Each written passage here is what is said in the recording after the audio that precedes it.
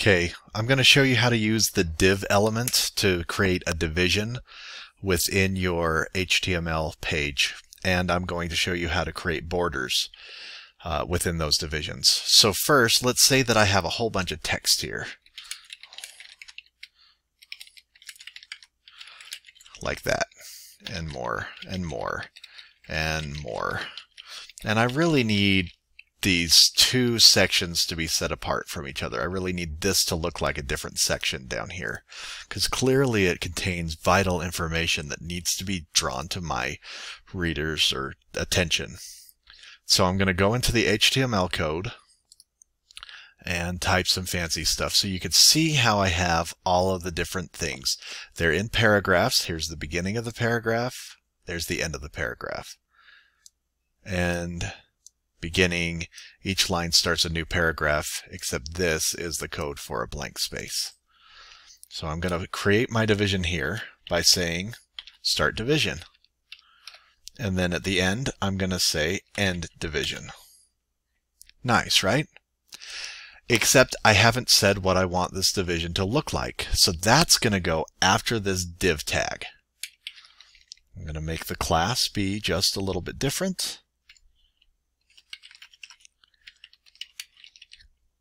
And you can just copy this. You don't have to know what HTML does in order to copy it.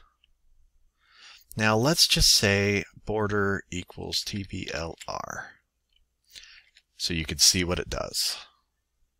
Now if I haven't typed it wrong, when I click on that, something cool happens. But nothing cool happened, so I typed it wrong. I found my mistake. So, class equals content back box pad box mini border border equal dash TRBL. So let me show you what this does. TRBL. You see how it creates this box around it. So here's the beginning of my division. Here's the end of my division.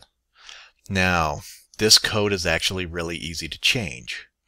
So each one of these things, switching to the rich content or to the HTML editor.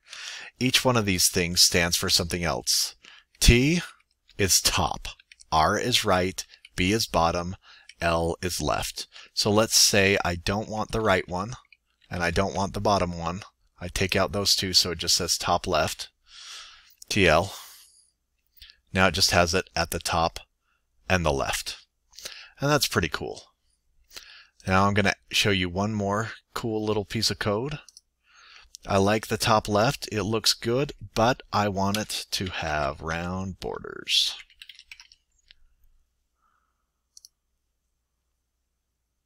You see how it just created that nice little rounding right there. So now my text down here is set aside. It makes it pop just a little bit, makes it stand out a little better um, from up here, and the coding wasn't that difficult.